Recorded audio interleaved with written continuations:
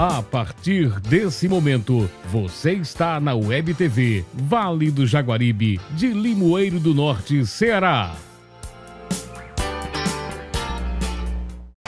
Nós estamos na cidade de Limoeiro do Norte, no leito do rio Jaguaribe, precisamente na barragem das Pedrinhas. Essa água percorre todo o rio para abastecer a cidade de Quixeré e de Russas de acordo com informações, durante a noite é feito um bombeamento para que essa água seja desviada para a Chapada do Apodi. Com isso, a população tem tido muitos prejuízos. O rio acaba secando ao chegar nas barragens de Quixeré. Tem trazido grandes prejuízos para a população. E as pessoas das cidades de Quixeré e de Russas pedem providências para que a água não seja bombeada durante a madrugada. Nós nos encontramos agora na barragem da cidade de Quixeré. Aqui todos nós sabemos a dificuldade hídrica que tem passado o estado, todo o estado do Ceará. Garcia Lima, você se depara agora com a situação que já era preocupante.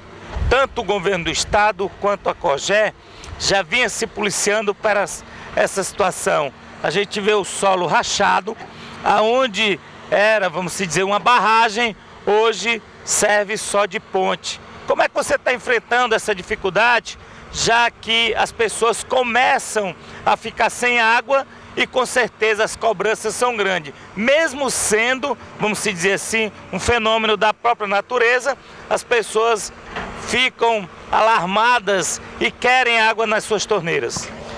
Ora, não só as pessoas, como os produtores rurais que necessitam realmente de água. O que tem que acontecer agora é um entendimento muito profundo entre o governo do estado, os produtores. A cota que, as, que tinha sido prometida para os irrigantes realmente não é possível cumprir mais eu, eh, essa cota, precisa reduzir ela. Tanto é que você vê que toda segunda-feira o rio amanhece seco sem nada. Então é preciso que haja agora uma reavaliação de tudo que foi prometido para irrigante, para as pessoas, uma avaliação onde se contemple a parte mais importante que é o usuário, que é a população, com suas crianças, com seus idosos, que precisam manter uma estabilidade hídrica em casa para que não haja problema, inclusive de, de, de mortalidade por falta do produto mais precioso que é a água. Hoje está acontecendo uma reunião aqui no IFCE, da COGÉ, Vanildo, uma reunião onde com certeza não será muito boa, porque é preciso tomar uma posição sobre isso. Como é que nós vamos conseguir agradar gregos e troianos? Como é que nós vamos conseguir manter uma um percentual mínimo de irrigantes funcionando, que é importante, e conseguir manter a nossa população.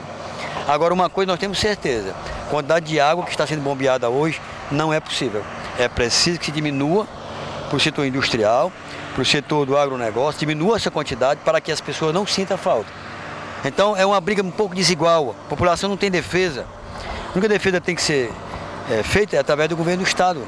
A COGÉ hoje, por exemplo, eu agradeço demais, a COGÉ nós ligamos para a Cogé, ligamos para o Almeida, na mesma hora eles mandaram uma máquina aqui e se prontificaram prontamente para dar toda a ajuda que a gente precisa nesse momento, que já resolvemos em São João do Jaguaribe. Estamos hoje aí tentando fazer agora uma pequena reserva de água e esperamos que as bombas lá em cima sejam ligadas para que o, o rio possa recuperar um pouco do seu leito e colocar água novamente para ser bombeado. Garcia, a COGÉ já tem se manifestado juntamente até com o próprio governo do estado você tem uma grande experiência nos SAAs, já enfrentou grandes dificuldades, uma seca constante no estado. Mas o que se tem observado é o que você acabou de dizer. Ou se começa, vamos se dizer, controlar a água que vai até a serra para os irrigantes, ou a população vai acabar sim se manifestando e, de uma certa forma, buscando, porque não sobrevive sem água. Olha, nós temos que entender duas coisas. Existem duas matrizes importantes no nosso, nossa região. Uma delas é o agronegócio. O agronegócio ele gera emprego, ele é muito importante. O que tem que ser feito, eu defendo o Evanildo, é uma recotização, é uma avaliação real do que pode ser tirado do rio, sem prejudicar as pessoas. Se, por exemplo, se passar dois dias sem puxar água para cima da serra, o rio se restabelece e as comunidades se abastecem. Mas se não parar dois dias, não tem jeito não. Nós estamos agora, os os nossos telespectadores podem observar, em um solo que está totalmente rachado, aonde se passava água, aonde se corria O rio aqui próximo hoje é só terra rachada. Isso deixa o coração de qualquer pessoa partida, Garcia. Olha, Vanildo, se, olhar, se você observar aqui a câmera, observar aqui o flutuante, ela amanheceu na segunda-feira em cima de um banco de areia. E na quinta-feira ele estava puxando água normal. O que, que aconteceu? É preciso que se faça uma, uma avaliação. O que, que acontece no sinais de semana, dia e noite, que o rio amanhece seco? É preciso se verificar isso. Será que está se bombeando a água no período noturno de uma forma é, é, criminosa, acima do que o rio suporta? Então tudo isso tem que ser visto, as autoridades têm que ser vistas.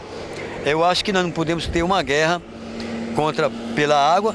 É preciso que a gente se una, é, produtor, é, o usuário, o prestador, a gente se una na mesma mesa, como está acontecendo hoje, para discutir qual é a melhor saída para todos nós. Se a gente confrontar, se a gente agredir um produtor que precisa e nenhum usuário que precisa mais ainda da água. Tem que haver um braço forte do Estado. Se não tem competência, entrega para o Exército, ele faz o controle. Mas que tem que ser feito, tem.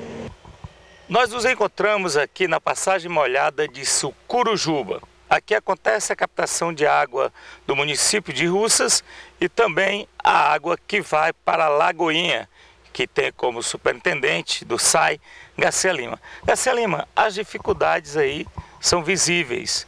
Como é que você está conseguindo levar água até a comunidade de Lagoinha?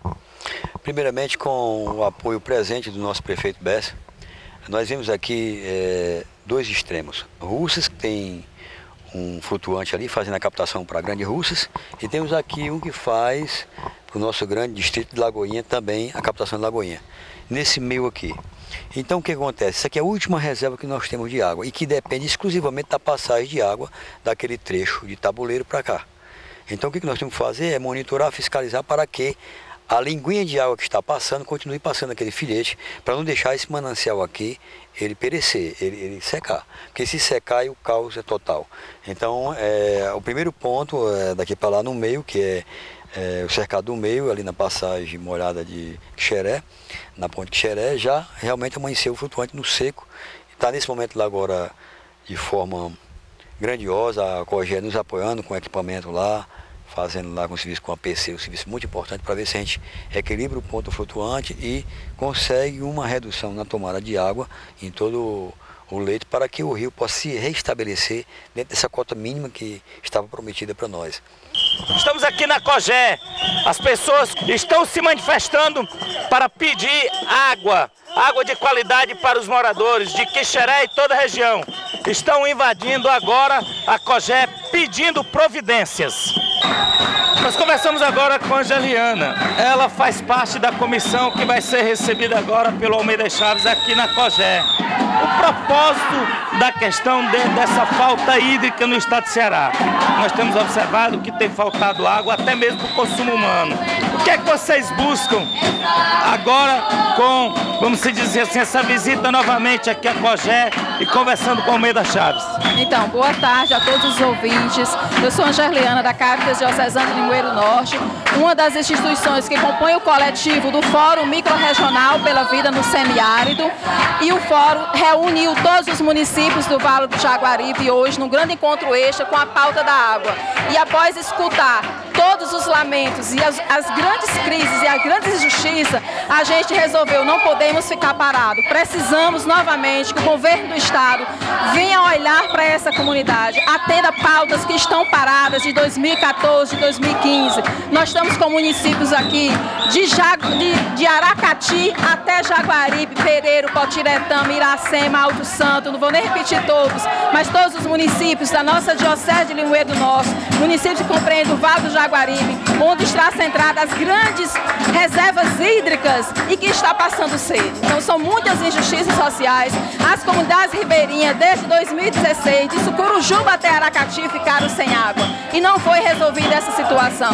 Novamente acontece uma alocação de água e essas comunidades não são atendidas. E pior ainda, o governo impõe praticamente para o, para o comitê de bacia sem alternativas que vai cortar água do rio a partir de dezembro.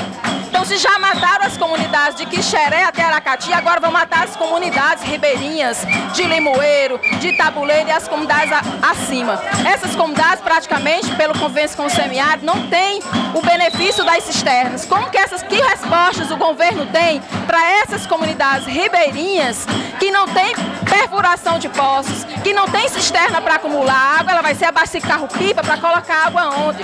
Nós temos demandas acordadas com a Soidra, com o governo do estado, com a COGÉ, os poços da comunidade de Iraponga, que foram né? É, dois anos ficaram sem água, por exemplo. A adutora já era para ter iniciado no Iraponga, ser inaugurada agora em novembro e ela ainda não começou. Os poços profundos para as comunidades da Caatinga Grande, lá de Potiratama. Tem um, tem um rio debaixo delas, tem água debaixo dos pés delas. E elas morrem de sede há cinco anos consecutivos porque não manda uma máquina perfuratriz de 200 metros para perfurar para essas comunidades. Também então, não é só isso. Pereiro não tem, existe outra alternativa para a cidade de Pereiro. Infelizmente, Pereiro não se cava poço. A única alternativa para a cidade de Pereiro é uma adutora puxando água no trecho do rio Jaguaribe, em, em Jaguaribe. E Jaguaribe hoje, por exemplo, está passando dias sem água. Então imagine, se Jaguaribe hoje, que é abastecida pelo rio, está faltando água, como é que essa água vai chegar em Pereiro subindo a serra? Então, Jaguaretama está com dificuldade de abastecimento, Jaguaribe com dificuldade. Isso falando do rio e falando das comunidades mais distantes. Como quando que a gente, o Vale Jaguaribe, vai ser prioridade? Quando que o governo vai apresentar o cronograma de prioridade do Estado do Ceará, sabendo que o Estado do Ceará está em crise? Mas aqui nós temos uma política da crise. É diferente da crise, nós temos uma política da crise instalada aqui. Enquanto isso, a carcinicultura se reproduz em torno do rio onde já não podia. A carcinicultura está se alastrando acima de Jaguaribe Jaguaribe ficando sem água. E é proibido, é papel do governo do estado fiscalizar e proibir. E a carcinicultura se alastra, seja no rio Jaguaribe, seja nos poços profundos, impactando os poços profundos de comunidade que tira água para beber, de comunidade que sustenta os seus pequenos sítios para botar comida na mesa. Então é inadmissível que o governo ainda permita a carcinicultura nessa situação que estamos de escassez hídrica. Nós conversamos agora com Almeida, que é representante da COGÉ. Almeida, a situação hídrica do estado do Ceará tem preocupado todos os governantes. Camilo Santana já fez, vamos dizer assim, vários pronunciamentos falando sobre a questão hídrica do estado do Ceará. Não seria diferente aqui em Limoeiro do Norte, Russas e Quixeré. Muitas dessas pessoas estão reivindicando a questão da falta d'água. Né? O rio está secando cada vez mais e se reclama muito que a água está sendo bombeada na madrugada para a Serra do Apudi. Quais são as providências que a COGET tem tomado para beneficiar essas famílias?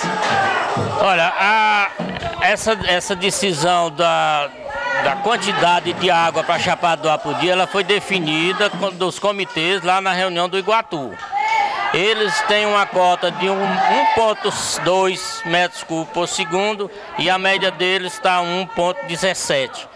Então eles estão na, na, no que ficou estabelecido pelo comitê, certo? E eles bombeiam mais à noite por causa do, do é, por causa do horário do, do, do preço da energia certo? Então por isso que eles bombeiam mais à noite.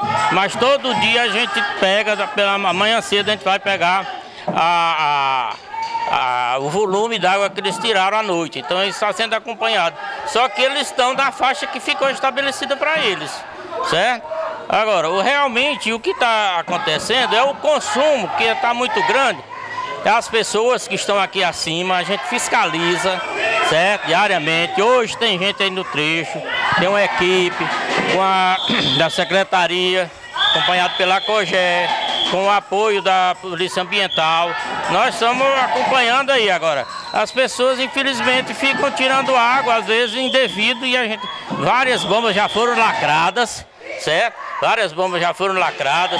Tinham as premissas que foram também aprovadas pelo comitê, que de, de 300 metros da barreira, e tem alguns pontos com 500 metros da barreira, as pessoas podiam usar poço. Isso está sendo feito, certo?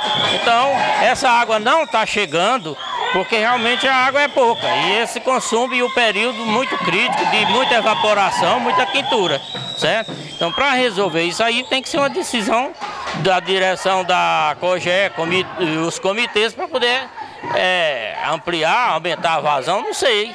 Por enquanto, aqui em termos de gerência, nós só somos operacional. Essa decisão é política e tem que ser resolvida em Fortaleza.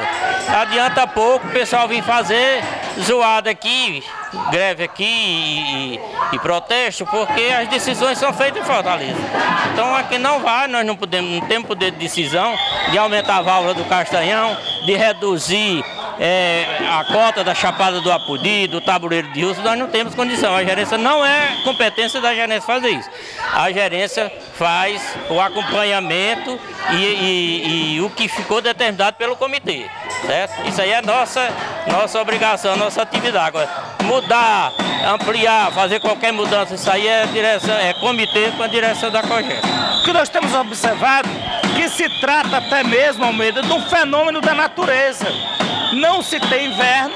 Né? O que tem se esperado aí é a transposição do Rio São Francisco. E as pessoas devem também entender e fazer a sua parte. Porque a parte que está sendo feita pelo próprio governador e até mesmo pela COGE é o que se está limitado. É, as pessoas muitas vezes acham que não está sendo feito, mas é porque o que a gente entende é que muitas pessoas, é aquela história, você não acompanha o processo, quando você não acompanha o processo, você não sabe o que está acontecendo. Então são pessoas muitas vezes que chegam de última hora, não no tempo que o Castanhão tinha bastante água, todo mundo queria, a gente levava três, quatro propostas, toda a vida era a maior proposta. Quem aprovou essas propostas? Os membros do comitê. E esses membros do comitê hoje estão, ficam dizendo que a COGÉ, o governo secou os açudes. Quem decidiu foram eles. Não foi a COGÉ, não foi a secretaria, foi eles que decidiram que era para ser liberado 20 metros cúbicos, 25, 19, tudo foi eles.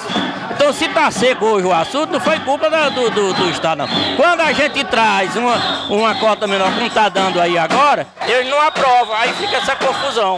Então, é, são, são seis anos de seca, mas tem chuva, mas não tem. E todo mundo quer produzir e precisa, a gente entende. Mas é, é complicado. Só saindo água e não entra, entendeu? É complicado. Agora essa decisão tem que ser a nível de governo. Vamos secar o castanhão mesmo, abrir logo para dezembro, fechar tudo, aí vai ficar sem comunidade, sem nada. É que não sei, é uma decisão política, né? Que tem que ser vista. Certo? Então eu quero deixar bem claro que esse protesto aqui não vai resolver nada, porque a decisão não está aqui. Aqui nós somos é um braço operacional que faz o que é determinado a política do governo juntamente com o comitê.